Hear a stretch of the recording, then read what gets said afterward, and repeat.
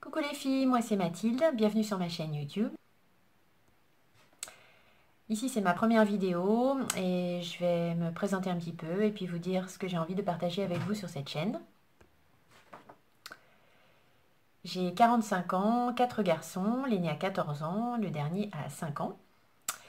Que des garçons.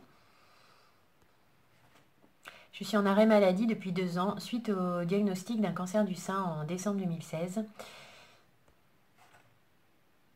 Je suis passionnée de maquillage depuis l'âge de mes, on va dire, 35 ans.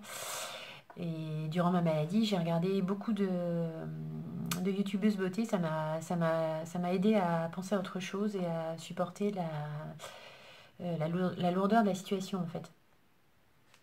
Ça fait un petit moment que j'ai envie de faire des vidéos, mais bon, j'ai jamais osé me lancer jusque-là. Et puis, bon, là, je sais pas, j'ai eu le déclic.